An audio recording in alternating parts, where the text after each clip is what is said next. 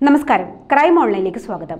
സ്ത്രീധനത്തിന്റെ പേരിൽ ചൂടുള്ള ചർച്ചകൾ നടക്കുമ്പോൾ ചിലർ മാതൃകയായി രംഗത്തെത്തുന്നു. ഈ ദമ്പതികളാണ് എല്ലാവർക്കും മാതൃകയായത്. നമുക്ക് ഈ താലിമാല മാത്രം മതിയെന്ന് പറഞ്ഞ വരൻ മണ്ഡപത്തിൽ വെച്ച് തന്നെ വധുവിന്റെ സ്വർണാഭരണങ്ങളെല്ലാം ഊരി വാങ്ങി വധുവിന്റെ വീട്ടുകാരെ ഏൽപ്പിക്കുകയായിരുന്നു.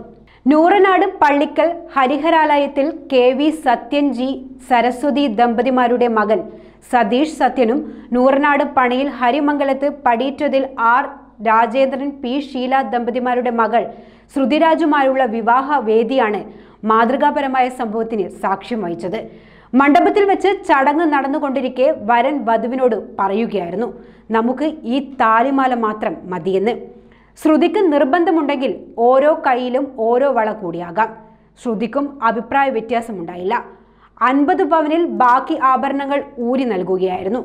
ഇത് വധുവിന്റെ അച്ഛനമ്മമാരെ ഏൽപ്പിച്ച് സതീഷ് പറഞ്ഞതിങ്ങനെ എനിക്ക് പൊന്നും പണവും വേണ്ട ഇവളാണ് ധനമെന്ന്. വൻ കരഘോഷത്തോടെയാണ് വരന്റെ തീരുമാനത്തെ കല്യാണത്തിന് ഒത്തുകൂടിയവർ സ്വീകരിച്ചത്. നൂറനാട് പണയിൽ ക്ഷേത്ര നടയിലായിരുന്നു വിവാഹം നടന്നത്. മെയ് പതിമൂന്നിന് നിശ്ചയിച്ചിരുന്ന വിവാഹം ലോക്ക്ഡൌൺ മൂലമാണ് മാറ്റിയത്. ഇരുപത്തി എട്ടുകാരനായ സതീഷ് സത്യൻ നാഗസ്വര കലാകാരനാണ്. കല്യാണത്തിനും ക്ഷേത്ര പൂജയ്ക്കുമൊക്കെ കച്ചേരി നടത്തി കിട്ടുന്നതിന്റെ വിഹിതം മാത്രമാണ് വരുമാനം. സംസ്ഥാനത്ത് സ്ത്രീധന സമ്പ്രദായത്തിൽ സ്ത്രീകൾക്ക് നേരിടേണ്ടി വരുന്ന ദുരന്തം ഇല്ലാതാക്കാൻ ഇനി വരുന്ന തലമുറ ഇതുപോലെ ഒത്തൊരുമിച്ച് നിന്നാൽ ഒരു നിയമവും ഇതിനെതിരെ ഉണ്ടാക്കേണ്ടതായി വരില്ലെന്നാണ് പലരും അഭിപ്രായപ്പെടുന്നത്. അതേസമയം വിസ്മയ ആത്മഹത്യ ചെയ്ത കേസിൽ കൂടുതൽ അന്വേഷണത്തിന് പോലീസ്. വിസ്മയുടെ വീട്ടിൽ ഭർത്താവ് കിരൺ കുമാർ നടത്തിയ ആക്രമണം പുനരന്വേഷിക്കുന്നതിന് പോലീസ് നിയമോപദേശം തേടും.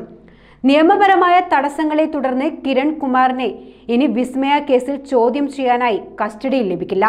നിയമപ്രകാരം കസ്റ്റഡിയിലുള്ള പ്രതിയുടെ കസ്റ്റഡി കാലാവധി നീട്ടിക്കിട്ടാൻ പോലീസ് ഉടൻ അപേക്ഷ സമർപ്പിക്കണം.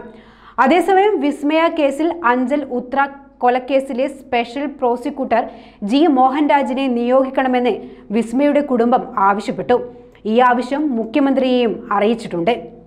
അടുത്ത എപ്പിസോഡിൽ കാണാം. നമസ്കാരം.